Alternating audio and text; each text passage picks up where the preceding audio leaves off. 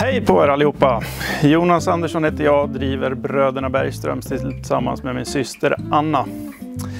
Eh, vi vill passa på och alla företag i Smedjebackens vägnar och Lokal Lojal att önska er alla en riktigt god jul.